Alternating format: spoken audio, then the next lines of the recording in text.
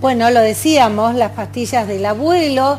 Tenemos una de sus fanáticas aquí en el piso. Sí, no solo fanática. Pero el fanatismo, este, ese amor por esta banda, cómo, cómo la vida a veces te da oportunidades que uno ni se imagina. Exactamente. Y estamos hablando de Rocío Sosa, que hoy nos acompaña aquí en el piso de Informadísimas y le vamos a dar la bienvenida. Rocío, ¿cómo estás? Hola. Bienvenida. Bueno, muy bien, muy contenta de estar acá compartiendo con ustedes. Bien, una de las integrantes de Cheguriza, eh, los tandilenses la vimos en eh, su participación también en La Voz y ahora, bueno, con una carrera que ha empezado a dar unos pasos muy importantes. Así es, eh, la verdad que después del paso ahí de, de La Voz Argentina, eh, uno no sabe para dónde disparar o no sabe qué rumbo, ¿no? Empieza a tener Claro. todo, eh, pero muy contenta por todas las posibilidades que se están dando, las puertas que se van abriendo, compartiendo también acá la ciudad, pero eh, también surgen cosas en, afuera y bueno, aprovechando todo lo que también va apareciendo. Qué bueno. Y, y nos contabas las pastillas de, del abuelo, contanos que tenés tatuado a uno de sus integrantes, contanos qué A va a pasar Fernández, con esta, con esta banda, contanos todo.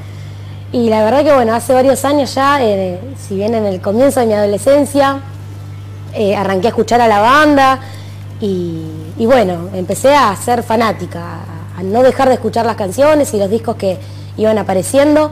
Y un día se me dio de tatuarme justamente al cantante, a Piti, y con una frase muy particular de una de las canciones que se, se- se llama Otra vuelta de tuerca, que dice que se hayan inventado las pastillas del abuelo. Y bueno, la cosa es que hoy en día hemos pegado una hermosa amistad y sigo sin entender cómo la música va ¿Cómo conectando. fue esa conexión? Contanos, ¿cómo, cómo se dio eso? Y bueno, la pandemia, si bien ha, ha dejado un montón de cosas o sabores amargos, ¿no? También a mí me permitió eh, dar a conocer mi música y dar a, a conocer con otra gente y con otro- otros artistas nacionales lo que yo hacía y lo que hago. Eh, así que uno de, de- una de esas conexiones fue con dos músicos de las pastillas del abuelo de esta banda, con el tecladista y el saxofonista, y gracias a ellos también eh, hoy en día puedo tener comunicación con el cantante. Bien, y vas a estar ahí participando en un show de ellos, vas a estar de telonera, contanos algo. Y el, el viernes que viene, el viernes 3 de diciembre, justamente vienen acá a la ciudad eh, en- con toda la banda y para mí es un honor porque claramente yo iba a estar ahí como fanática y como Sí. espectadora, pero me han convocado a que sea telonera, a que pueda abrir el show que van a estar dando en la ciudad, Wow. así que no puedo más de la felicidad. Esto será eh, con eh, tu hermana, con Ayelen. Eh, esto se va a dar de manera de manera solista. Ah, Voy a bien, estar eh, como Rosos ahí compartiendo mis canciones. Ah, genial. Por primera vez también en la ciudad. Eh, así que Aye va a estar ahí acompañando también, como, como lo hace siempre, que estamos ahí juntas. Pero en este momento eh, voy a estar individual. Bueno, está Bien, bueno también bien. que puedan Claro. estar juntas en algunos momentos, cuando quieras participar sola también hacerlo. Tal y mm, no sé, te estás preparando, ya tenés cuántos temas, qué vas a hacer, tenés pensado. ¿Qué vas a interpretar? Y el, el formato que voy a estar compartiendo ahí justamente es en banda. Eh, voy a estar haciendo mis canciones que son, tienen una mezcla de rock, pop. Está ahí medio fusionado también, hacemos eh, el género también trap, me le animo ahí a... Ah, qué bueno. Tengo, tengo una banda muy linda atrás también, entonces puedo ser libre, ¿no? Puedo claro. jugar bastante. Eh, Bueno, eh. ¿querés, ¿querés cantarnos algo, Rocío? bueno, por supuesto. Bueno, dale. ¿Qué nos vas a cantar? A ver, Voy a cantarles, bueno, le mando un beso a Aye, que, que andamos medias complicadas de horario, iba a estar con ella acá, pero hay una canción que nos gusta mucho interpretar juntas, que se llama Las cosas que nunca te dije.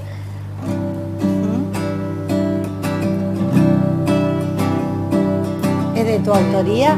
Esta canción nos, es de un cantante español Ajá. eh, que se llama El José, Ajá. Va, hace una interpretación también. da. Ah, bien.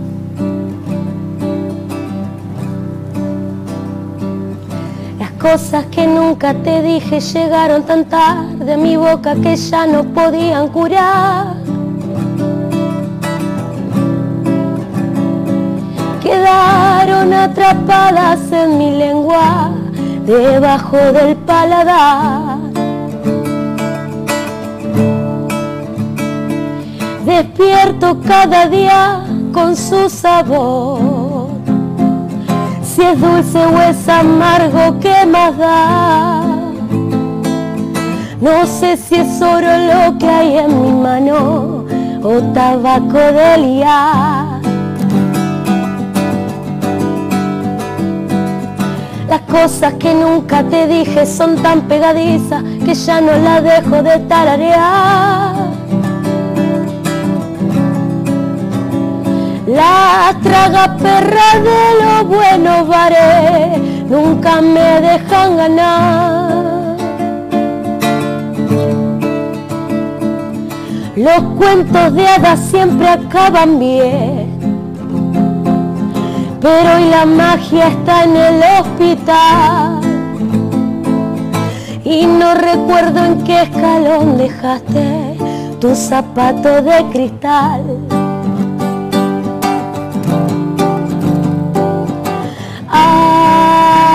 De saber que mañana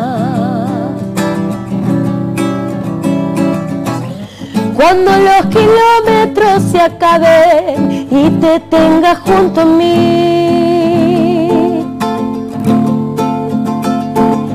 Y el aire que ahora guardo en el pulmón, ay despoje a mi garganta de sí. No volveré a ensayar frente al espejo lo que tenga que decir. No volveré a ensayar frente al espejo lo que tenga que decir.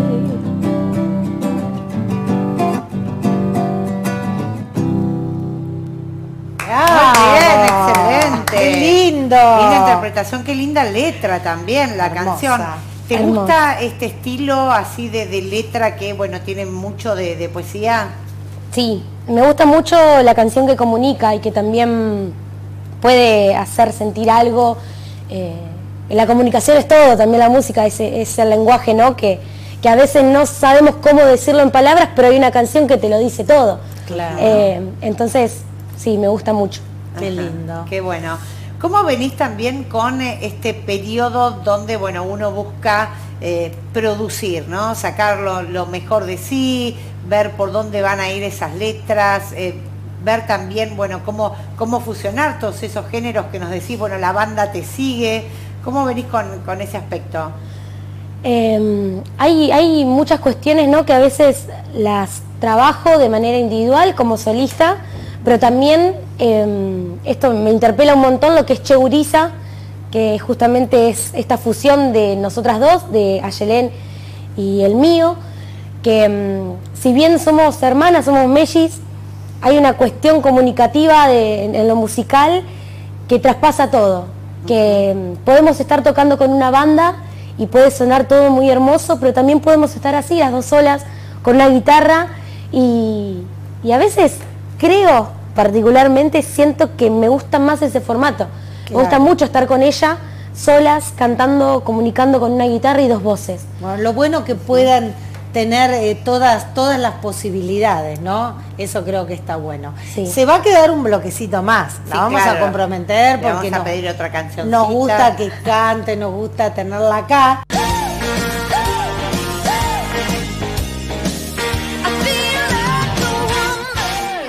Bueno, y seguimos con esta gran cantante que, bueno, ha tenido la diferencia de venir al piso a cantar, trajo su guitarra y preparándose para los shows. Reiteranos los shows que vas a hacer.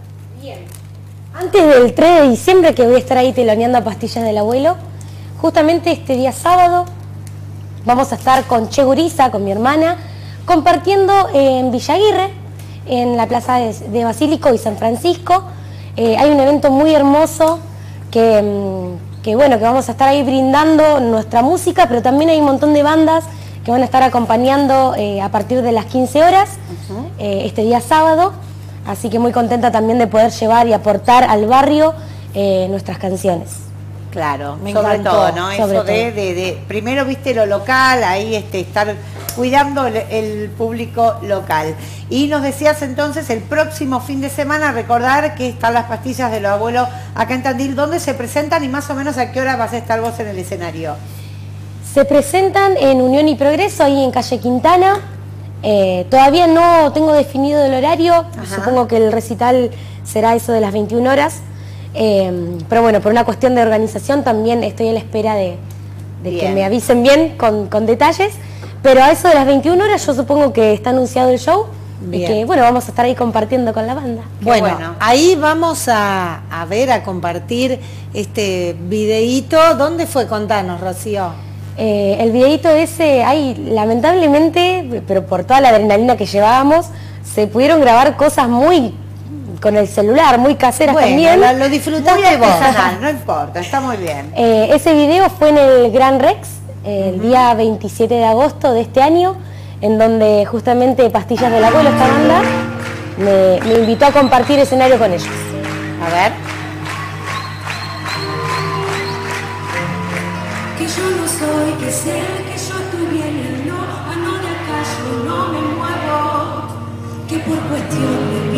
sexo, religión, tus zapatos no me los pruebo. ¿A quién le vamos a tirar una pared cuando ya no nos quede nadie? Tal vez un perro fiel a cambio de comer, soporte hasta lo insoportable. Temiendo ser peor, temiendo ser mejor, temiendo al fin, siempre temiendo, viviendo en el ayer, aletargando en hoy, sí, hoy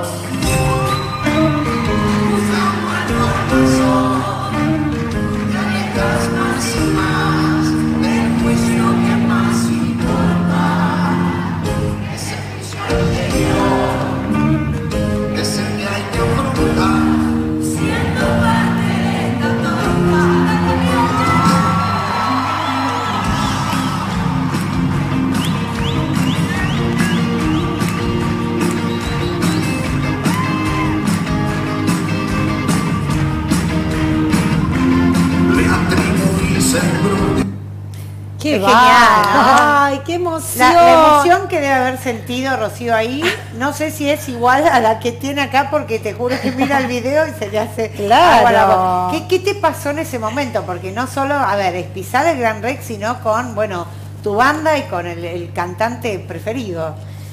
Se me pasaron muchas cosas por la cabeza. Eh, primero en principal también el apoyo de mi familia, que, que está en todo momento.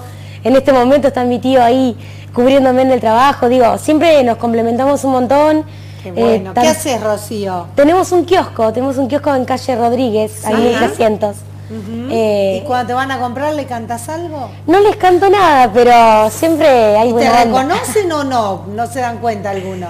Sí, te es, es muy fuerte. Eh, Qué lindo. el impacto que ha sido este año también en los niños, eh, porque con Naye también trabajamos ahí, ella trabaja en otros horarios, entonces la gente te reconoce, te Claro. pide una foto y No vos sos decís, la de la voz. Claro. Tal cual.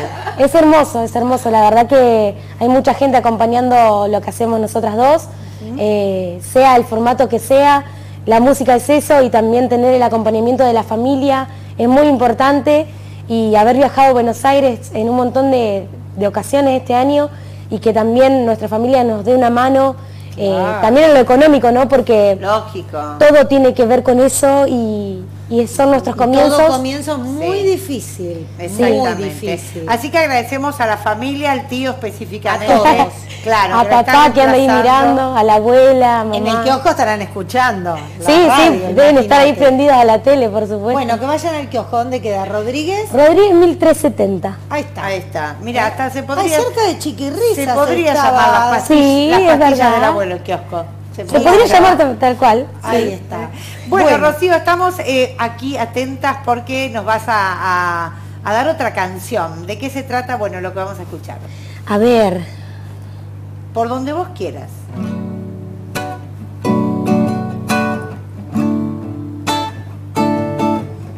bueno, les voy a compartir una canción que escribí hace muy poco, hace unos meses, que también tiene que ver mucho con, me gusta componer en base a lo que voy viviendo y, también a lo que me interpela.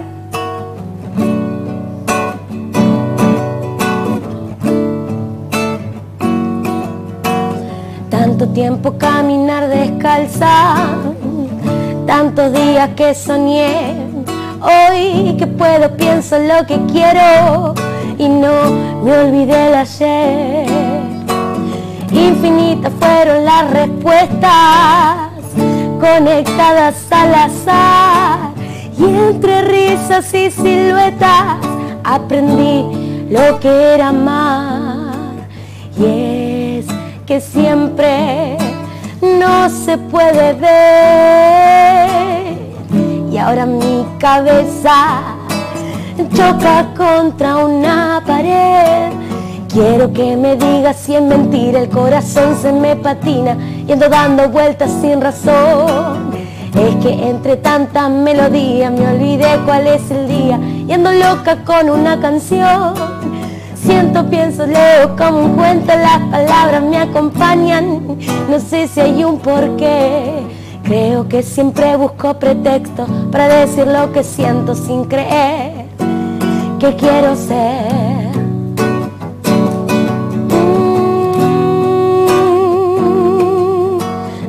Tanto tiempo caminar descalza, tantos días que soñé. Hoy que puedo pienso lo que quiero y no me olvidé de ayer. Infinitas fueron las respuestas conectadas al azar y entre risas y siluetas aprendí lo que era amar. Y es que siempre no, no se puede ver. Y ahora mi cabeza choca, choca contra una pared. Quiero que me digas si es mentira, el corazón se me patina, yendo dando vueltas sin razón. Es que entre tantas melodías me olvidé cuál es el día, yendo loca con una canción. Pienso, siento, leo, como un cuento las palabras me acompañan. No sé si hay un porqué. Creo que siempre busco pretexto para decir lo que siento sin creer que quiero ser.